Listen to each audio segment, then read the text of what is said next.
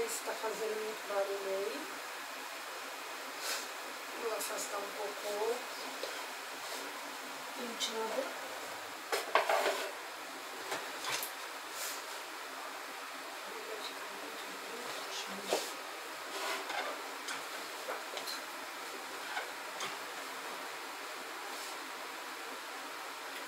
Então hoje a gente vai conversar sobre o. Nossa, acho que eu deixei o óculos. Isso tem em cima. Hoje nós vamos conversar sobre o décimo. Ai, eu procurando óculos, óculos na minha cara. É ruim, hoje eu tô ruim. Hoje eu não tô bem. Então, nós vamos conversar sobre o décimo segundo capítulo. Pneumatografia ou escrita direta. Então, agora, ele vai começar a falar sobre cada fenômeno, né? A gente está no décimo segundo capítulo. Então, ó, vou recapitular os capítulos. Então, do primeiro a espíritos, quem não acredita, lê o primeiro, vai lá e assiste a live do primeiro capítulo. No segundo capítulo, do maravilhoso e do sobrenatural. O que é maravilhoso e o que é sobrenatural? Ele vai desmitificando, né? Capítulo 3, um método. Qual o método que ele usou? E nesse método, os materialistas, que são por falta de coisa melhor, incrédulos por ignorância, por má vontade, por interesse, má fé. Então tem pessoas que têm tudo isso, eles não acreditam ou por má vontade ou por interesses, né? Na falta de fé das pessoas, má fé, por pusilanimidade, por escrúpulos religiosos, por efeito de decepções, é, aí tem três classes de espíritos, o espírita experimentador, o espírita imperfeito e o espírita cristão e os verdadeiros espíritas. A ordem é que deve obedecer os estudos, ele também dá. No capítulo 4 ele fala dos sistemas, uh, o charlatanismo, o sistema da negação, o charlatanismo, da loucura, da alucinação. Tudo isso inventaram na época para explicar os efeitos é, do músculo instalante, das causas físicas, do reflexo, sistema de afirmação, sistema da alma coletiva, sonambúlico, pe pessimista, diabólico, demoníaco, otimi, otimista, uniespírita ou monoespírita. Depois vem a segunda parte, tudo isso é a primeira parte, a segunda parte vem é, da ação dos espíritos sobre a matéria, das manifestações físicas, capítulo 2, capítulo 3, manifestações inteligentes, o 4, da teoria das manifestações físicas, capítulo 5, das manifestações físicas espontâneas, 6, das manifestações visuais, 7, do, da bicorporeidade da transfiguração, no 8, do laboratório do mundo invisível. Esse laboratório do mundo invisível é fantástico, esse capítulo, porque ele vai mostrar para você por que, que você tem que ter um pensamento construtivo, por que, que você tem que aprender a lidar com o seu pensamento e modificá-lo para que as coisas se modifiquem no plano material. Pessimismo? Começa a repetir frase ao contrário do que você está sentindo. Você vai ver que o cérebro, dali um tempo, depende também da pessoa. Se a pessoa for muito endurecida, vai precisar ficar falando o dia inteiro. Se a pessoa for mais ou menos, acho que umas horas adianta. E se a pessoa for muito rápida, muito maleável, ela repete algumas vezes, o cérebro dela já começa a mandar aquilo. Então, não pense que não acontece, ah, já fiz, não acontece. Você treinou, você fez pouco. Porque no seu caso, às vezes tem que ficar dias repetindo. Eu construí uma casa fazendo isso. Eu mudei, eu não tinha nada. Saí do divórcio com uma mão na frente e outra atrás por minha opção. É, claro que a outra parte foi conivente, obviamente, né? Mas eu tinha a mente completamente péssima apesar de já ter todos esses conhecimentos aqui, já trabalhar espiritualmente, a minha mente não acompanhava. Eu sabia ajudar as pessoas, mas eu não sabia me ajudar. E aí eu peguei um livro que foi o Alegria e Triunfo e comecei a fazer, porque eu estava numa situação que ou ia ou acabava de vez. E consegui ouvir ali na prática, repetindo frases, mas são frases muito bem feitas que não deixam o seu inconsciente mudar elas. As frases são muito bem feitas e isso é uma característica. Assiste umas lives lá de três anos atrás ou dois anos atrás, você vai achar essas lives aí.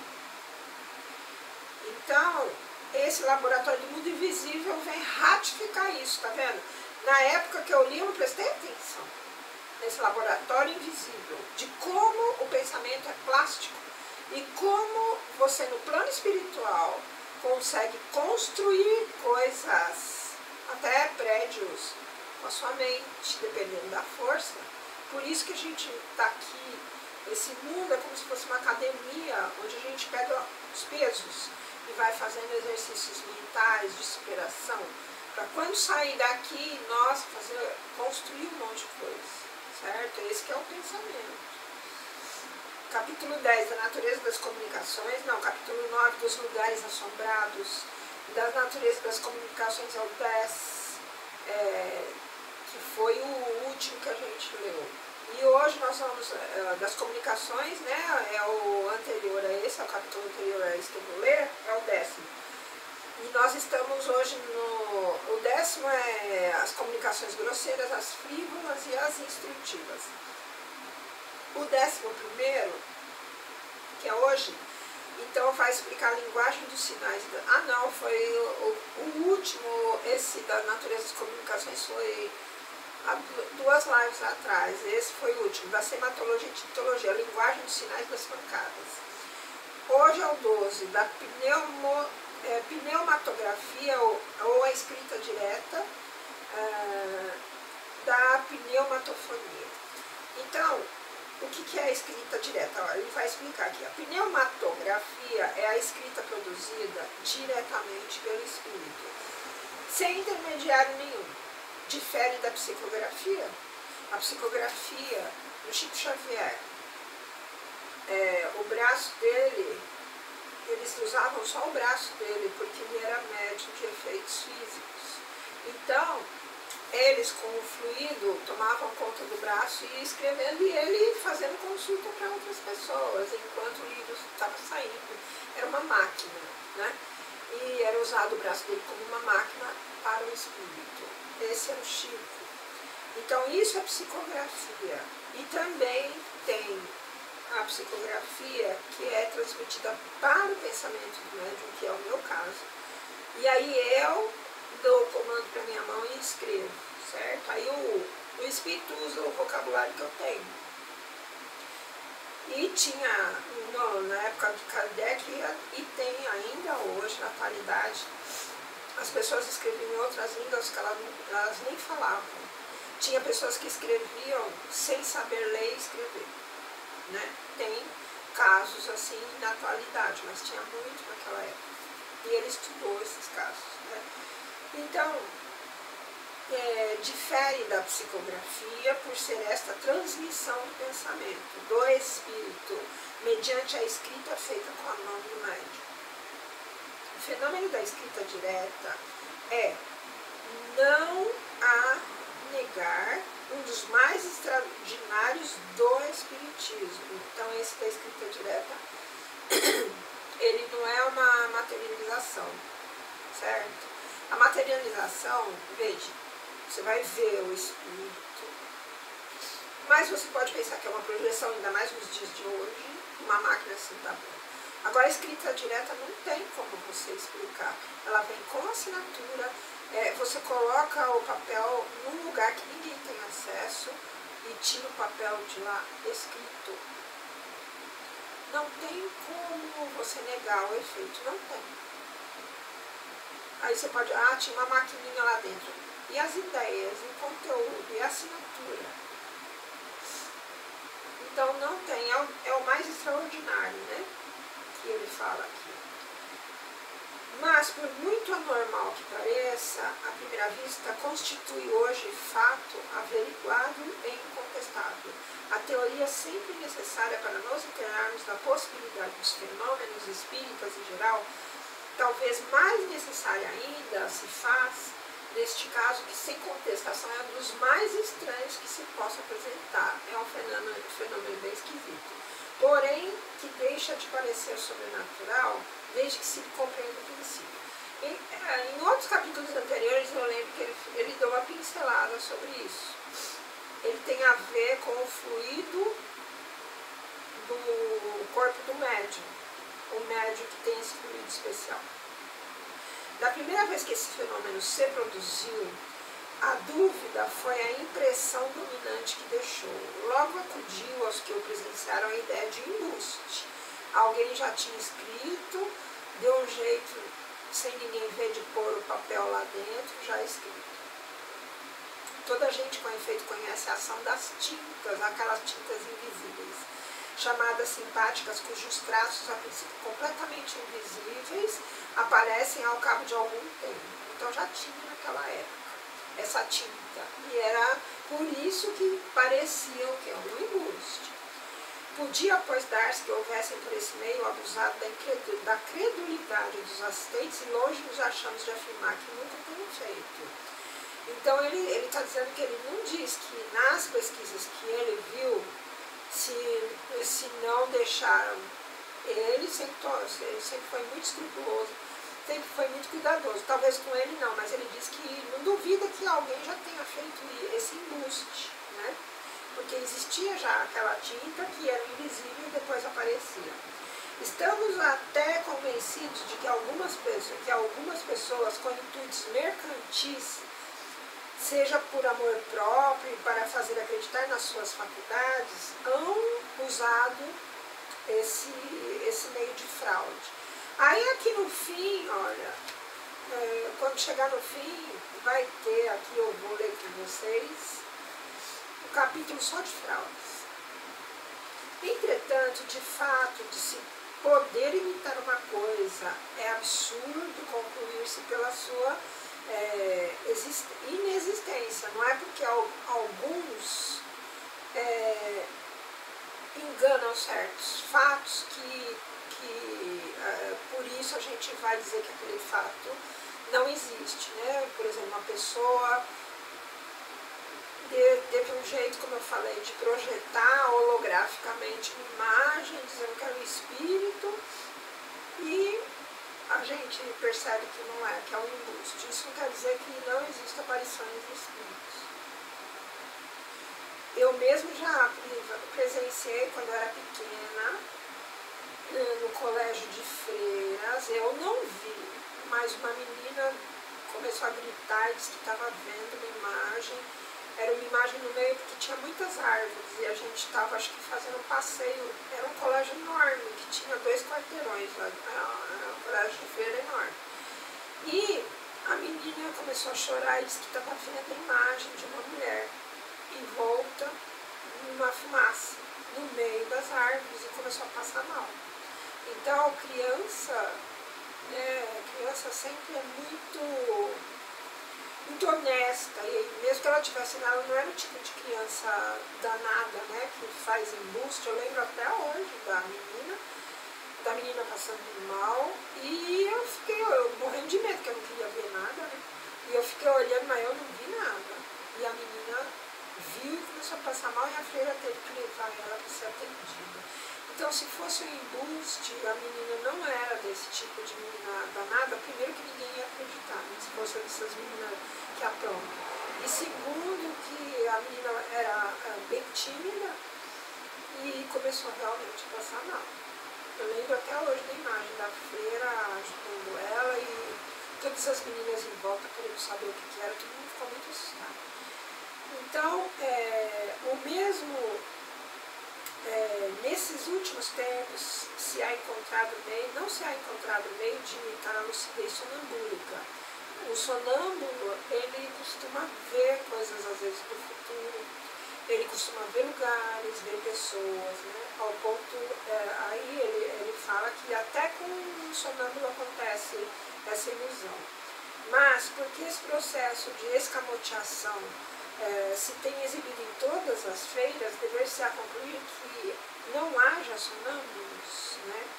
Então, ele, é o que ele questiona, só porque existem muitas, existiam muitas fraudes, será que não se poderia ter uma que fosse verdadeira? Porque certos comerciantes vendem vinho falsificado, é, será uma razão que não haja vinho puro?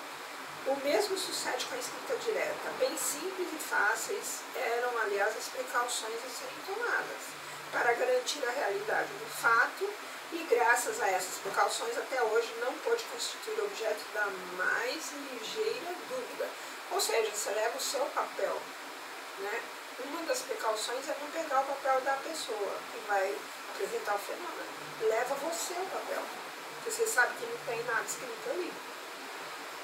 Uma vez que a possibilidade coloca, você coloca, examina o local, se for uma gaveta, geralmente acho que era isso que eles faziam, colocavam no local, e no local que vai ser colocado papel, examina tudo por dentro, se tem alguma aberturinha, se tem alguma coisa, né? Mas é muito difícil naquela época, hoje em dia eu não diria mais naquela época. Então, é uma vez que a possibilidade de escrever sem intermediário representa um dos atributos do espírito, uma vez que os espíritos sempre existiram desde todos os tempos e que desde todos os tempos se hão produzido os diversos fenômenos que conhecemos, o da escrita direta igualmente se há de ter operado na antiguidade, tanto quanto nos dias atuais. Aqui vou abrir um parênteses para todos os fenômenos esse fenômeno já foi dito, veio assim na minha cabeça, talvez em outra assim. Mas se isso acontece,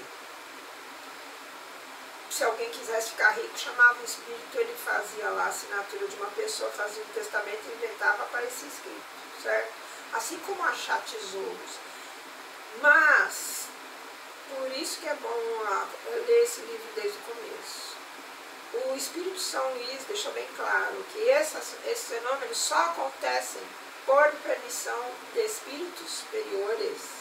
São os inferiores que têm esse fluido porque eles estão muito próximos de nós.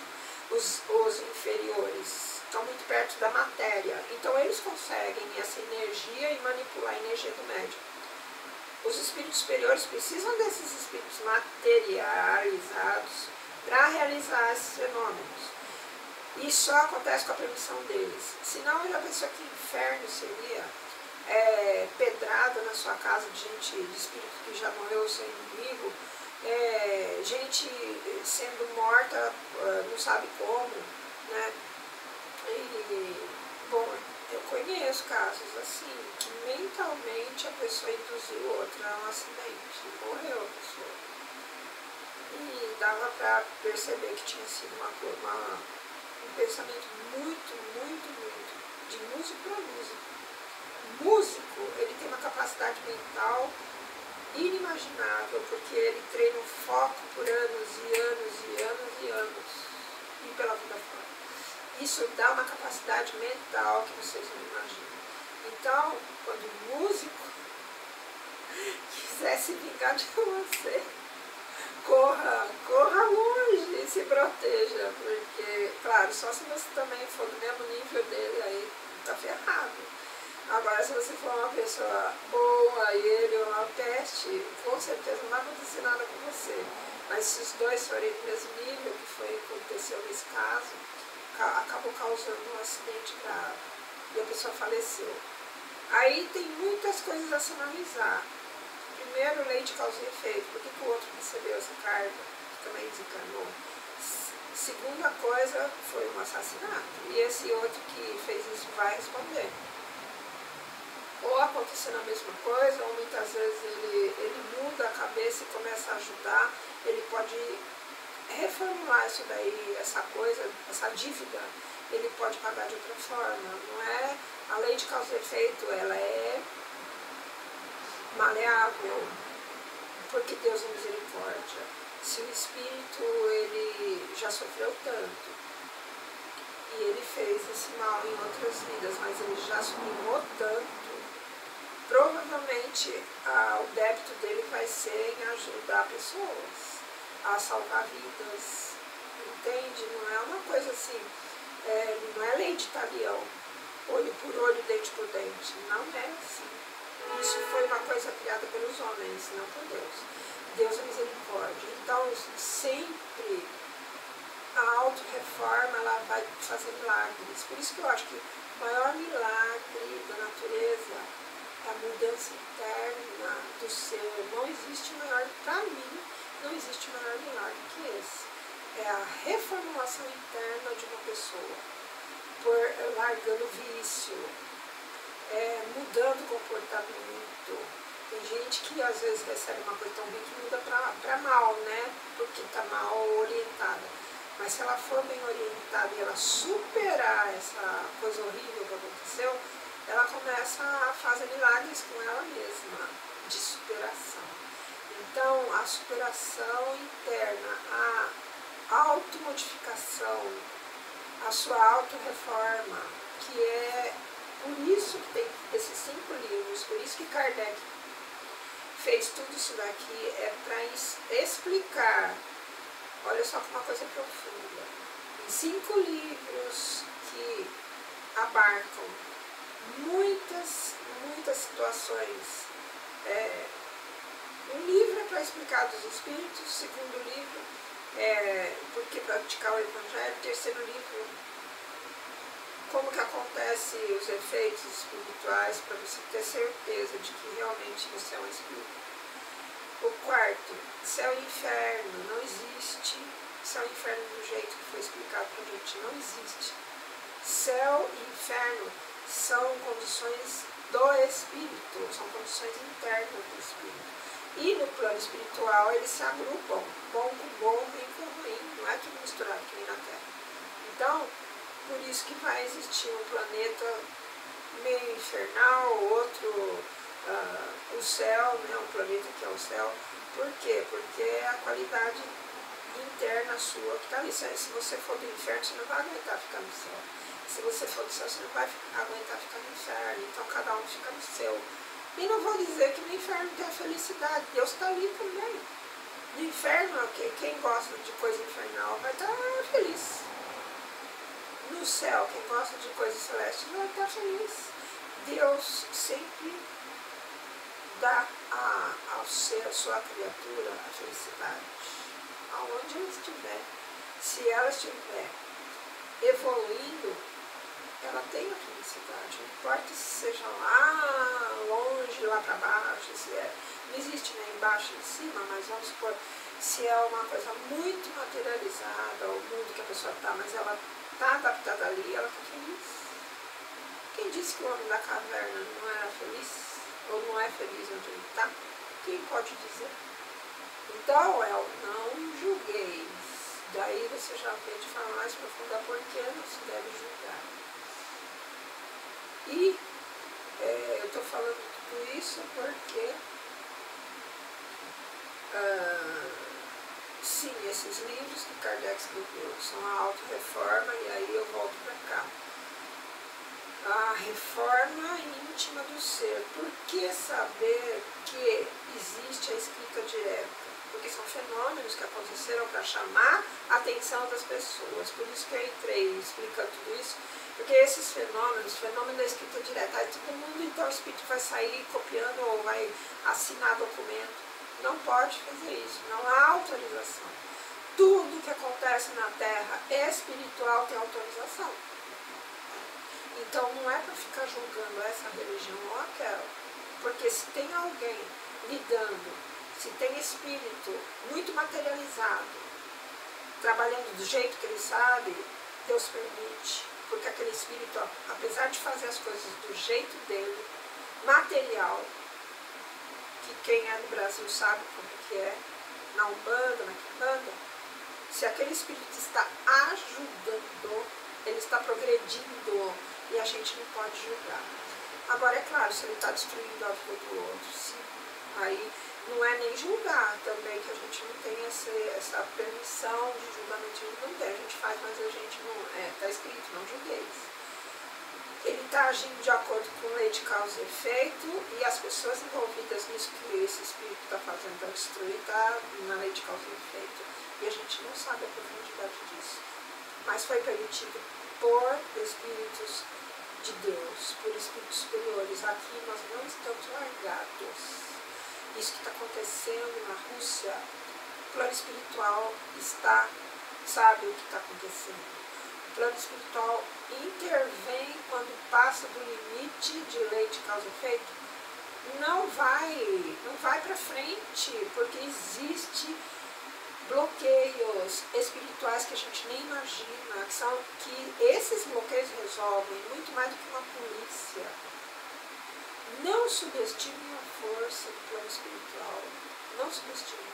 Se Deus não intervém em muitas das tragédias aqui, é porque essas tragédias são limpezas que estão acontecendo.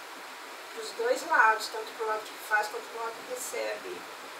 São limpezas e Deus está no controle de tudo. Não tenho dúvida. Não tenho dúvida.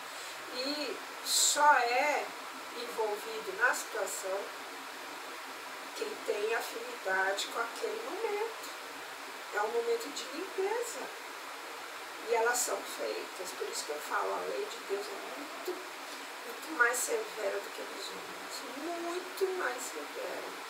Por isso que está escrito na Bíblia, não vos indigneis por aquele que prospera em seus caminhos pela força do ímpio. Né? Tem gente que prospera porque vai prosperando e está sendo ajudado por uma pessoa impiedosa. Mas está escrito, não vos indigneis, porque aquilo ali vai ter um desfecho. Está na mão de Deus, gente, não duvido.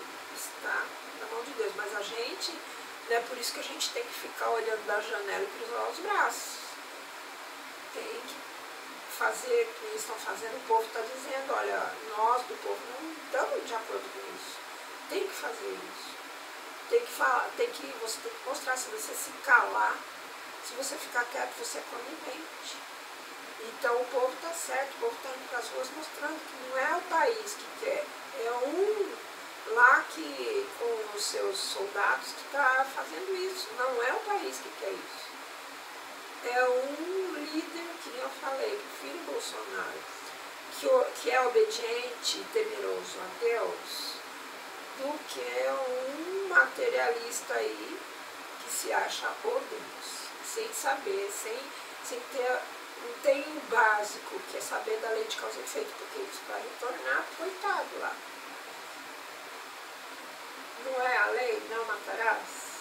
Isso é uma lei. Ainda que o, o cidadão entre para te roubar, se você matar ele, vai ter que responder judicialmente. Não, terá. Certo?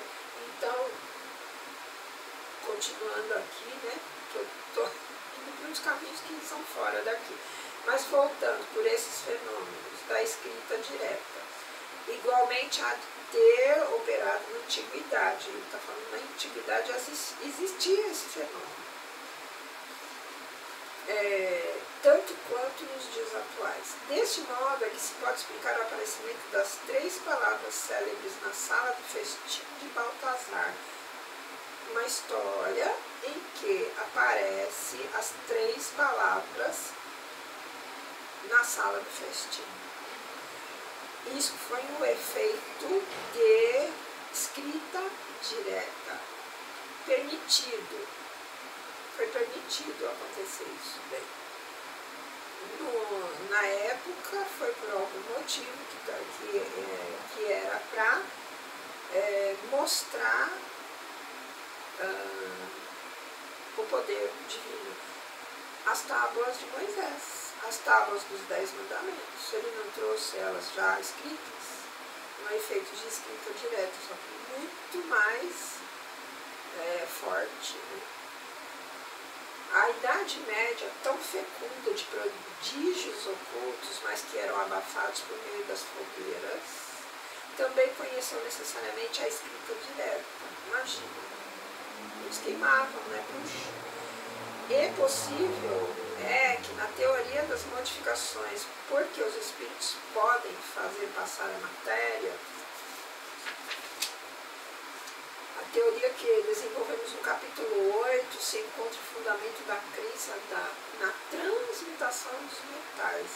Então existia, não era? Os alquimistas, eles acreditavam na transformação dos metais e talvez naquela época tivesse sim essa transmutação feita pelos espíritos, porque os espíritos podem é, fazer algumas mudanças, ó, podem fazer passar a matéria, porque os espíritos podem fazer passar a matéria, né, modificações que os espíritos podem fazer na matéria. Eles não podem mudar a substância mais é, raiz da matéria, eles não mudam, mas a forma eles podem mudar. Todavia, quaisquer, isso depende da, da elevação do espírito. Todavia, quaisquer que tenham sido resultados obtidos em diversas épocas, só depois que, de vulgarizadas as manifestações espíritas, foi que se tomou a sério a questão da escrita direta. Ao que parece, o primeiro a torná-la conhecida estes últimos anos em Paris foi o barão de Gulden, Guldenstube, ou Goldenstub, não sei a pronúncia, que publicou sobre o assunto uma obra muito interessante com um grande número de facsímiles das escritas que obteve. Aí ele, ele põe uma nota. A realidade dos espíritos e suas manifestações demonstradas mediante, mediante o fenômeno da escrita direta pelo barão de Gundenstube, o volume 1, com 15 estampas e 93 facsímiles, era mesmo que impressão né, da obra. Então ela foi, teve 93 cópias, né? Julgou-se, ah, o fenômeno já era conhecido na América há algum tempo. A posição social do, do senhor Gudenstube, sua independência, a consideração de que goza nas mais elevadas rodas, incontestavelmente afastam toda suspeita de fraude intencional, porquanto nenhum último interesse havia que ele obedecesse. Então ele era, tinha dinheiro, tinha prestígio, ele não precisava fazer esse tipo de fraude para ganhar alguma coisa. Ele era reconhecido, tinha dinheiro, tinha fama. Quando muito, o que se poderia supor é que fora vítima de uma ilusão. Aí uh, poderia ser o caso dele estar sendo iludido. A isto, porém, o fato responde peremptoriamente de haverem outras pessoas obtido o mesmo fenômeno, cercadas de todas as precauções necessárias para evitar qualquer indústria, qualquer causa de erro. A escrita direta se obtém, como em geral a maior parte das manifestações espíritas não espontâneas, por meio da concentração da prece de evocação. Então, ele, ele está falando que a escrita direta, quando você quer provocar ela, é por meio de concentração da prece da evocação. Tem se produzido em igrejas, sobre túmulos, no sopé de estátuas,